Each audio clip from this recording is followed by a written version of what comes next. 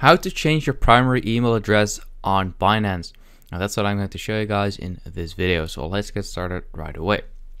Now what you want to do is once you're in Binance, you want to hover over this uh, like profile picture icon right there.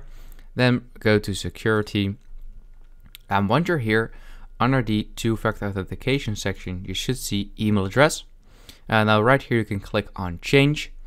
Uh, now before um, you can change it, you actually have to enable uh, two-factor authentication on your account. Because if I click on next, see, I have to do this first.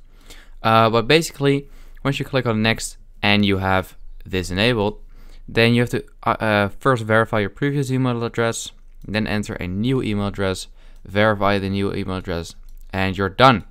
So that's basically it. That's how you can easily change your uh, primary email address on Binance. Um, I hope this quick video helped you out. Please leave a like and let me know in the comments um, if it worked, and I'll see you next time. Have a good day.